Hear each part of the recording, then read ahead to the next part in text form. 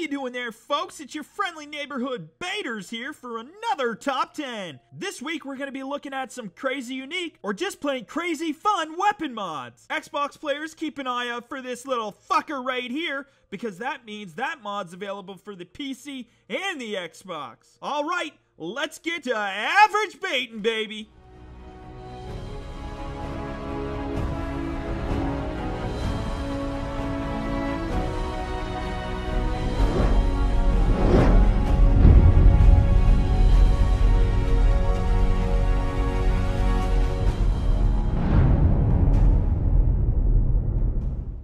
At number 10, we've got Custom Remington 1875 by the Seventh Dog. Now, I don't know about you guys, but I absolutely love the old revolver look and feel in a Fallout game. It just reminds me of Fallout New Vegas, which makes me want to take my dick out and rub it in someone's hair. This mod adds a Remington style revolver to the Commonwealth, which comes in four different variants. The first variant replaces the Western Revolver in Nuka World with roughly the same stats, which is great because aesthetically the Western Revolver didn't feel very Wild West at all. Actually, finding a new gun in the game in Nuka World that looked just like the .44 revolver in the Commonwealth was just lackluster as fuck. Like when you get a new gun, you kinda want it to look new, or at least unique. Now this is the perfect weapon to force two gunners to rape one another out of fear. Don't be shy. Don't be shy. Get Oh right in God. there. I'm so sorry, man. I'm so sorry. Oh, oh my God. Oh my God. Oh, oh my God. Oh, oh no. Oh God. Oh God. Why is this happening? Now, this variant also adds a legendary and overpowered version that can be found in the bank vault of the Commonwealth Bank near Faneuil Hall. Faneuil Hall. Sound it out. It's a word. Just sound it out. Faneuil Hall. Faneuil Hall. Reading's really tough, people. The second variant still adds the revolver to the bank, but it's not legendary, which is good for people who want to replace her but don't want anything too overpowered in the game. Now, the third variant makes the overpowered gun in the bank vault a unique weapon, and the Nuka World revolver is not a replacer at all, meaning it adds a revolver as a standalone instead. And the fourth and final variant adds the vanilla statted standalone revolver to the bank vault location and does not replace the Nuka World variant at all. So both of the last two variants are standalones versus the first two variants, which are replacers. There are a few different finishes to choose from in regards to this weapon, as well as a few different grips. So, in terms of customization, this gun is a bit basic. However, even without a ton of customization options to choose from, this mod is an excellent addition to the game as a replacer to the Western Revolver that can be found in Nuka World, which in my opinion wasn't unique at all and made me feel like a dipshit running around the Wild West theme park with a revolver that looked like it was made in 1985. I rate this mod the one way Activision is still able to sell video games. Yeah, we figure we got at least two more remastered classics before we go completely bankrupt. At number 9, we have German MP40 by Evolution of Waffles. Now, if you're a fan of the guns the Germans used during the Second World War, then you probably will like this mod, as this mod adds a custom made MP40 machine gun to the Commonwealth. Now, the gun itself looks great with its own custom models and textures. Also, old guns, they just fit in so well to the lore of Fallout 4 that this gun looks and feels very immersive. It actually looks like something you might have found throughout the Commonwealth. Now, this gun may make you feel accidentally evil, like when you accidentally threw your neighbor's cat through a barn door. Ah, shit, I think I killed it. It was dark and I thought it was a raccoon with rabies. Now, this automatic weapon also comes with its own customization options, including 8 receivers, 6 barrels, 2 stocks, 2 mags, and 2 muzzles. You can also be sneaky as fuck with this antique by adding a suppressor to the barrel. Now, the mod author has stated that he or she would like to add more aesthetic mods for this weapon in the future, which would really help this gun fit in better to Fallout 4, which is known for its customizability. Now to locate this weapon, all you have to do is go to the Red Rocket located next to Sanctuary and head into the Mole Rat Den located just out behind it. Also, if you don't like waiting and you want it right away, you can always craft this baby at the chem station under utilities. This gun is crazy unique and the only MP40 I've seen in Fallout 4 to date. This is an excellent addition to the game, and I look forward to seeing more from this mod author in the future. I rate this mod the face everyone makes when they're getting fucked in the ass. At number 8, we have OTS 02 Kiparis by Millennia. Now, there are several mod authors involved in bringing this weapon to life in Fallout 4 other than Millennia, including Doom-based, Hitman 47101, and Mr. Rifleman. Now, the hard work and collaboration of so much talent proved to add something really awesome to the game. Now, this mod adds the standalone version of the OTS-02 Kiparis submachine gun to the game. This gun comes with its own custom sounds as well as its own custom animations for when the gun is equipped and when it's reloaded. Now the animations look fantastic and really make this weapon stand out. This gun looks and feels so real. With the custom animations and the excellent meshes and textures, this machine gun almost jumps out of your screen. This gun looks so good that it'll actually have your enemies jerking off before you kill them. Oh yeah, oh yeah, oh, oh yeah, oh yeah, oh yeah, oh yeah, oh, oh, oh, oh yeah, oh yeah, this gun has a ton of customization options, including 15 receivers, 4 mags, 2 sights, 1 suppressor, 3 zoom settings, 2 ammo types, and 1 laser attachment. So you can really change up the look of this gun from quiet and tactical to loud and completely naked. Also, it has been fully integrated into the level list so you can find it on fallen fuckers who clearly didn't know how to use it properly. I rate this mod the one thing you don't want to see when you dive into the deep end of the pool. Come on, dude, there's a fucking bear in the pool again. At number 7, we have Right-Handed Hunting Rifle by AssXass. This mod author is quickly becoming one of my favorite mod authors on the Nexus as everything he touches turns to gold in every form of the word. Every single mod this mod author has come out with is incredibly immersive, excellently crafted, and an incredible addition to the game. Now, one of the biggest complaints I see on forums is that the bolts on the rifles are all left-handed. Now, some people may not have noticed this, but if you have and you're right-handed and you've ever shot a rifle before, then this can really go gangbang on your level of immersion. Now, I'm not ambidextrous, nor am I left-handed, so that means if I were caught up in a post-apocalypse where all the rifles were left-handed, I wouldn't be able to reload them, and I would have to sell myself off as some sort of sex slave in order to survive, tied to the front of someone's war rig like a biological hood ornament giving out blowjobs for gummy bears and shit. This mod simply adds the option to add right-handed receivers and stocks to the vanilla hunting rifle in the game. It also adds the animations that go perfectly with the right-handed rifles. So you don't need to pretend you're something you're not anymore. Thanks to this mod author, you can kill things in the Commonwealth with the vicarious realism that we've all come to expect from 21st century gaming, enabling us to live out those sick, twisted fantasies innocuously in the confines of our own homes. The additional options for the hunting rifle are fully immersive and the animations are done so well. This is a crazy unique mod that people have been waiting for since day one. I would highly recommend this mod to anyone's playthrough of Fallout 4, especially if you're right-handed. I rate this mod three birds that are eating the fuck out of this lady. Teach that bitch to toss bread around all willy-nilly. At number six, we have the Bryar Pistol by D. Magnus.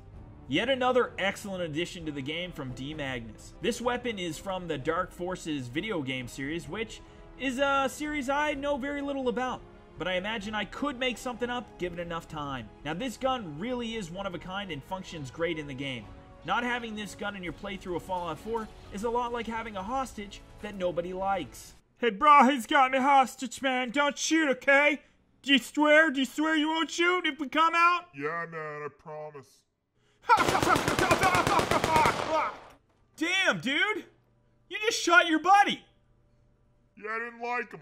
It's just not the best situation to be in. Now this mod is crazy looking and incredibly unique. It starts off as a pistol, but it can be modified into a rifle. Now the reload animation for the pistol functions perfect, but I found the reload animation for the rifle didn't quite suit the gun.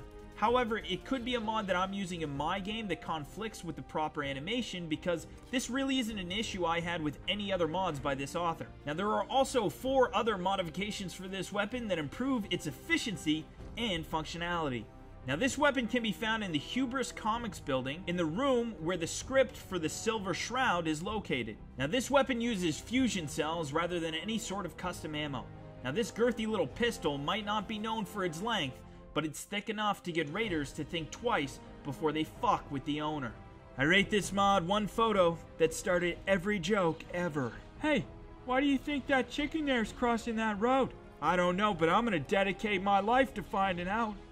At number 5, we have the Vorpal Blade by Gage Storm. Now, this mod adds some sinister as fuck looking blades to the Commonwealth from Alice Madness Returns. I'll be honest, I had no idea what Alice Madness Returns was, but the blades look so fucking sick, I didn't ask any questions.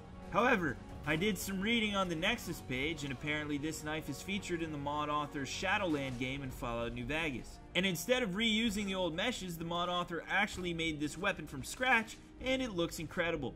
Now, this knife looks like something right out of a horror movie, or at the very least, something a crazy person would carry around to Dexter the fuck out of people. It looks very realistic, and it's crazy unique with a design that stands out and makes a statement. It says, hey, Come here, I'll stab the shit out of you. I'll stab your fucking eyes. So it's a completely original addition to Fallout 4. Now this weapon has a few different customization options. There are six blades including a standard blade, a serrated blade, a cleaver blade, a serrated cleaver, a legendary blade, and a legendary cleaver. There are also four hilts including a standard one, a Hatter manufactured one, and two legendary variations of the standard and Hattered hilts. Now, if you want to acquire this weapon, you'll have to use the console commands as the mod author was unable to create an immersive way to acquire it in-game because of conflict issues. However, that will hopefully be resolved in the future as this is an excellent addition to the game and it would be great to be able to find it throughout the Commonwealth. I rate this mod one bear that would do anything for honey. I will smell your ass crack for some honey right now. Hey, have you seen my cat? I will answer your question with yet but another question. What is that over there? Say you later, fuckface! At number 4, we've got the Laser RCW by Mike Moore. Mike Moore is a name becoming more and more popular amongst the modding community as he continues to shake things up and put out really interesting and well crafted mods. This is just another beauty that he can add to his trophy case. This mod adds the Laser RCW from Fallout New Vegas to the Commonwealth. This is not just a simple port, no, no. This mod author actually built the meshes and textures from scratch, and they look so good, I want to lick them. But that would be weird, and it would leave a funky smudge on my computer screen, so I'm going to resist the urge. This gun has a few different customization options, including three muzzles, three receivers, two grips, and three sights. This is the futuristic version of the Thompson come to life yet again. So you can murder your enemies like a space mafia hitman. Not having this gun in your playthrough is like thinking you're invisible when you're not. Oh yeah, oh yeah, oh, oh yeah, oh yeah, oh yeah, oh yeah, oh, oh, oh, oh yeah, oh yeah, oh, oh, oh yeah, yes, yes, yes, oh god, yes, oh yes, oh, oh, oh, oh, oh, oh, oh yeah, oh yeah. What the fuck are you doing? Oh shit, dude, you can see me? I swear to god, man, I thought I was invisible there. It's just not good. If you want to acquire this gun, it can be found in fallen enemies who would normally carry submachine guns, as it has been added to that specific leveled list. So for instance, if you didn't do the mission where you have to rescue Valentine yet, this would be a perfect time to take a stroll through a bunch of old-timey wise guys. This is an excellent and immersive addition to the game that is definitely crazy unique and crazy fun to use. I rate this mod one monkey that knows the crane kick from the Karate Kid. Come at me, bro. At number three, we've got the Widow Shotgun by Corbelho. Now, this might very well be the best looking gun I've ever seen. Not just in Fallout, but like ever. This shotgun looks so nice, it makes me want to pat it in a rocking chair like a lifeless cat on a Sunday afternoon after an episode of Murder She Wrote. This is the type of weapon that Smeagol would run off into the woods with, and you'd never see him again. Now, the detail that went into this shotgun is incredible. It even shows the shotgun cartridge in the gun when you look down the barrel of the weapon, which is like icing on the cake.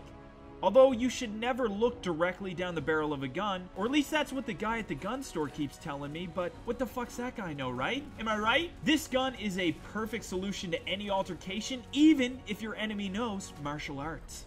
Yeah, motherfucker, I know karate. What? I regret nothing. In retrospect, I definitely overplayed my cards. Yeah, you did. Now, this mod adds a standalone, modular, sawn off, double barreled, adjective rich shotgun to Fallout 4. Now, this gun has a few different customization options, including short and long stocks, 6 receiver mods, 7 ammo types, multiple zoom customization, and 2 muzzles, including a suppressor.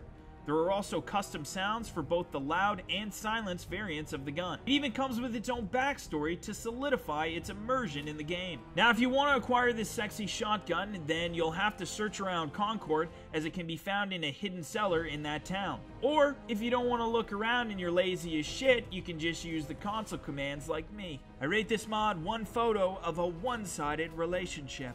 Shut your face, this doesn't concern you. At number two, we have the Varmint Rifle by who else? Ass Ass. It seems like whenever something really immersive and well constructed is added to the game anymore in terms of gun mods, it's always the same culprit behind the scenes. Ass X Ass has done it again and added yet another great weapon mod to the Commonwealth. This time bringing back a fan favorite from Fallout New Vegas. It's a little smaller than you might recall, but it looks so sexy. It just makes me want to get completely naked and spoon with it, where I'm the little spoon. Is that weird? This gun has a ton of customization options, including two barrels, four receivers, one stock, two muzzles, four sights, and five weapon skins. Also, it has the option to add the mod author's custom blue tape to the stock, which has become his signature on his weapon mods. Now, all the weapon skins are very unique looking, but a few of them are specialized camo that make them blend into the environment. So you gotta be extra careful when you're using those camo custom skins that you don't lose your rifle in the woods. Oh, god damn it! Where is it? Also, the bolt of the gun is on the right side and it comes with its own custom animation, so you can actually shoot this gun like a right-hander. Do you hear that? That's the sound of someone at Bethesda just shitting themselves. Wait, you can make a rifle reload on the other side? What the? Now, if you want to find this epic gun, it is located on enemies and vendors as it has been added to their respective leveled lists. Also, there are two legendary variants of the gun placed throughout the world with custom skins. So now you need to just get out there and be somebody and find one of those unique rifles. Now, if only I had one of those unique weapons, maybe girls would want to touch my penis. I can't be certain, but it's worth a try. I rate this mod that one moment when you're pretty sure you failed as a parent. At number one, we have Any Mod, Any Weapon by Lucas God. This mod allows you to craft and attach any weapon mod to any weapon, so it's basically all in the name with this one. This mod makes no sense at all, and it might actually affect the non-unique weapons carried by enemies you encounter in the Commonwealth, or in store inventories. However, this mod allows players to be extremely creative when it comes to modifying their weapons, allowing players to use all of the vanilla gun mod assets in the game to conjure up their very own fucked up masterpiece. Finally, with this mod, I'll have a gun that I can show off to all my friends. Hey, you kids want to see something? Look at this! Yeah, that's pretty cool, right? Y'all want to touch it? My dad says we gotta stop hanging out with you because you're 40 years old and you hang out with a bunch of kids. You're a fucking loser. God damn it, Timmy, you ruined it again! Timothy, I ain't afraid of you. You're eight years old. I'll punch you right in the goddamn chest. Now, when you use this mod, you may very well create something that no other player playing Fallout 4 has ever used or ever will use. I mean, the possibilities are endless. And this mod is extremely fun to use. The custom weapons now will inherit the base stats and attributes from the base weapon. So if you want a shotgun that shoots mini nukes, you'll have to start with a Fat Man and go from there. There are still some restrictions. Now, for instance, you can't attach a muzzle to a barrel that doesn't support muzzles. But you can always change the barrel to one that actually supports muzzles and then use that. So really, this isn't a major issue. The way the projectiles look and behave is usually inherited from the muzzle. That means if you attach a laser weapon muzzle, the projectiles will behave as lasers even if the gun is using a different kind of ammunition. In no way is this mod immersive, and it can be kind of annoying actually when you're trying to add a vanilla mod to its own asset and having to search through dozens of mods with the same name. However, it is a crazy unique addition to the game that adds variety to Fallout 4 like no other. I would highly recommend anyone give this mod a try at least once, if nothing else, just because it's crazy fun to create fucked up weapons. I rate this mod the body posture I use when answering stressful questions. I've never even heard of this word cat that you're referring to, okay? I have no idea what that is. Please look directly into my butthole when you're talking to me. Thanks again for watching, guys and girls. Hope you enjoyed this video. And if you want to come back and average bait some more, be sure to touch that subscribe button with your genitals. Also, be sure to check us out on Twitter or Instagram for the latest updates on our newest content. Hope to see you all again next time for another Top 10.